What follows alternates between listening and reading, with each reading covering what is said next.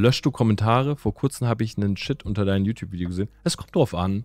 Es kommt drauf an. Wenn Kommentare konstruktiv sind, ähm, also ich selber lösche eh gar nichts, aber ich habe ein Team, was das macht. Ähm, wenn, wenn da konstruktive Kritik steht, nö. Wenn da einer schreibt, du bist ein Huhn, dann ja, dann wird die Person ausgeblendet. Weil mit solchen Leuten, man muss auch immer überlegen, hm, ich habe früher zum Beispiel, ich habe früher immer versucht, so mit allen Leuten zu diskutieren. Ne? Das war auch so ein Ding so. Ich wollte immer so, ah, jemand hat irgendwas gesagt gegen das, was ich mache und ich war immer so, jo, komm, lass uns drüber reden. Nein, ich glaube, äh, ich glaube, ich kann dich überzeugen. Ich glaube, du hast eine falsche Ansicht und so weiter. Aber irgendwann habe ich gemerkt, es gibt Leute, mit denen kann man nicht diskutieren. So Menschen, die uncoachable sind, die andere Meinungen nicht zulassen, die einen zu hohen Narcissism-Score haben. Mit den Leuten brauchst du nicht diskutieren. wenn jemand schreibt, du bist ein also was soll ich da schreiben? Hey, ich habe mit meiner Ma noch mal geredet und äh, tatsächlich hat sie nie als Prostituierte gearbeitet. Weißt du, das macht ja keinen Sinn. Du kannst ja nicht äh, mit so jemandem diskutieren. So. Das ist, das bringt nichts. Wenn jemand, und du musst auch immer überlegen, wenn dich jemand beleidigt, ja, wenn dich jemand beleidigt, dann ist das ja immer eine Form von Schwäche. Weißt du, wenn jemand dich einfach beleidigt, du bist fett, du bist hässlich, du bist dieses, jenes, das ist ja immer eine Form von Schwäche. Eigentlich will die Person gerne so sein wie du, aber sie kann halt nicht, weil sie prokrastiniert, weil sie es nicht schafft, zu schwach ist, zu unmotiviert und so weiter. Und wenn sie dann noch nicht mal Kritik verfassen kann, ein Argument hat, dann beleidigt man halt. So, beleidigen tun nur Leute, die keine Argumente haben. Also wenn dich jemand beleidigt, kannst du davon ausgehen, du hast was Gutes gemacht. Ja, das ist halt so. Also ich habe meinem Team gesagt, stumpfer Hate immer löschen, Person blocken, weil es keinen Sinn macht. Konstruktive Kritik stehen lassen, ich antworte drauf. Ja, so sehe ich das halt. Gehatet wird immer von unten nach oben und du musst dir immer die Frage stellen, gibt es einen Hater, der ein besseres Leben hat als du? Nein. Weil zum Beispiel ich als jemand, wo ich sagen würde, ich feiere mein Leben. Ich gehe nie auf irgendwelche Videos und schreibe Scheiße runter. Nie. Selbst wenn ich die Videos scheiße finde, dann klicke ich die weg. Ich bin ja nicht dumm. Ich bin ja kein Masochist. Wenn ich jemanden nicht gut finde, dann gucke ich mir den nicht an. Wenn ich ein Video nicht scheiße finde, dann klicke ich das nach zwei Minuten weg. Aber wenn jemand sagt, ey, du bist fett, dann möchte man ja nicht unbedingt so sein wie die Person. Naja, wenn jemand sagt, ey, du bist fett, dann möchte die Person vielleicht gerne den gleichen Erfolg haben wie die andere Person oder so, aber versucht halt irgendwie deine schwache Stelle zu finden oder so, weißt du, wie ich meine? Aber es macht ja, also es ist ja kein, es ist ja kein Punkt, wo du dran ansetzen kannst, um zu reden. Da wird ja nichts bei rauskommen. Na? Und ich habe auch noch nie jemanden gehabt, der mich im realen Leben beleidigt hat, zum Beispiel. So, der so sagt, jo, ey, ich wollte dir nur mal ganz kurz sagen, du bist der größte ba so, ich habe deine Videos gesehen und was soll dann auch kommen, weißt du, wie ich meine? Jo, ich habe deine Videos gesehen zum Thema Morning Routine und ich habe das ausprobiert mit dem Liter Wasser trinken und bei mir hat das nicht geklappt, Alter. Oder was, was soll er sagen, so, weißt du, wie ich meine? Also da, da kann ja auch nichts kommen, so. Da habe ich wahrscheinlich so ein bisschen den Vorteil, dass ich halt so Videos mache, it's hard to hate. So, du kannst sagen, jo, ich äh, bin nicht seiner Meinung, aber du kannst, ist es schwierig, mich dafür zu hassen. So, weil meine Morning-Routine nicht funktioniert oder sowas. Aber ich habe auch früher immer, also ich, früher hatte ich halt tatsächlich mehr Hate. Und ich habe früher halt auch immer gesagt, yo, wenn einer wirklich ein Problem hat, ey, dann mach mit mir ein Video. So, mach mit mir ein Video. Lass uns mal hinsetzen und diskutieren. Und es, es kam halt nie jemand. Es haben halt Leute geschrieben, ohne Profilbild. Aber es kam nie einer, der sagt, jo, stimmt so, ich will mich mal hinsetzen und mit dir reden. So. Warum sollte man ein Problem mit dir haben? Naja, warum sollte man überhaupt mit jemandem ein Problem haben, weißt du? Also, wenn du jemanden nicht feierst, so, warum sollte ich meine Zeit wasten, um irgendwen zu schreiben oder so? Ich habe so einen Typen, das ist auch so lustig. Äh, ich habe so einen Typen, der schreibt mir einmal die Woche, macht er sich einen Fake-Account. Und ich glaube, das ist immer der gleiche, weil er schreibt immer den gleichen Satz.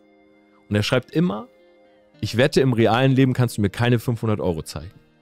Er schreibt jede Woche, kommt der Satz. jede Satz. Jede, jede Woche kommt dieser Satz. Ich wette, im echten Leben kannst du mir keine 500 Euro zeigen. Und beim ersten Mal, als er es geschrieben hat, also ist fake, ne? Also kein Profilbild, neuer Account, folgt niemand.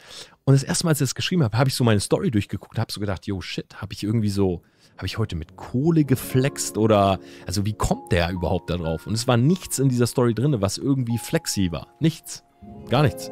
Erstens, was will er damit sagen? zweitens, was willst du mit solchen Leuten machen? Ja, Matthias ist zum Beispiel eher jemand, ähm, der sich aufregt bei sowas.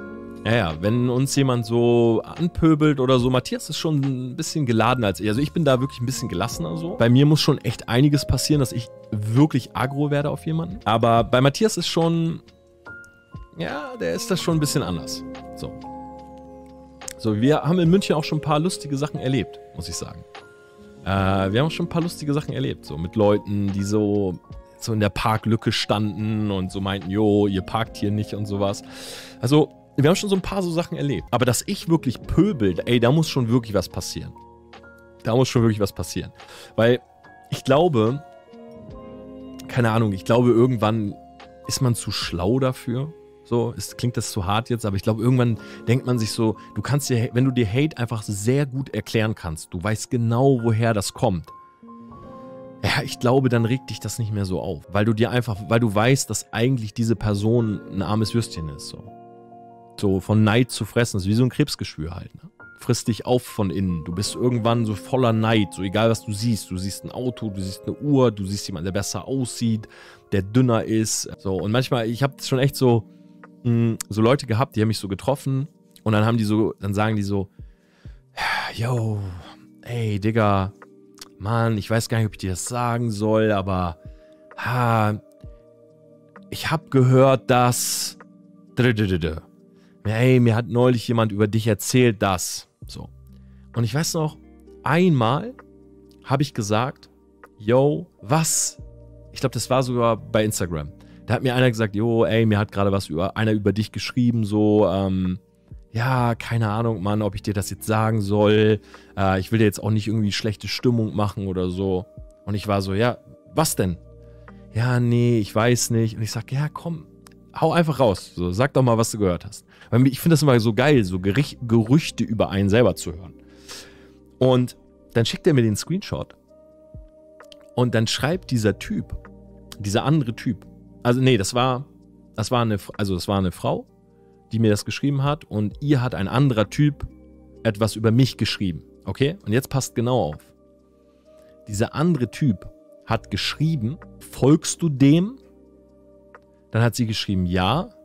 Und dann hat er geschrieben, ja, hab aber schon von einigen gehört, dass das, was er erzählt, auch nicht immer der Wahrheit entspricht. Da denke ich mir so, jo, was, was ist das für eine Info, Alter? So, also, weißt du, was, was ist das für ein Diss? So, und dann fand ich es halt ganz spannend, weil ich mir so dachte, ja, okay.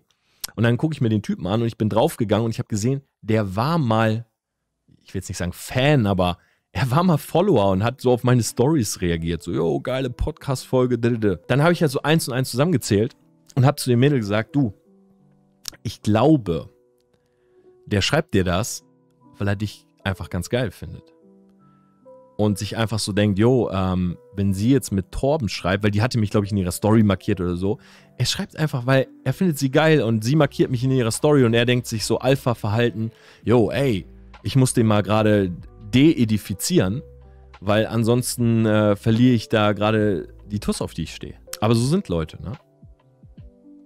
Ist genau einfach nur Neid so. Und das ist ja auch völlig in Ordnung. Ja, genau, Media Lancer. Wenn jemand kommt, sagt, ich muss dir was erzählen, aber nicht jetzt, Ey, dann, also wenn das einer macht, bin ich so raus.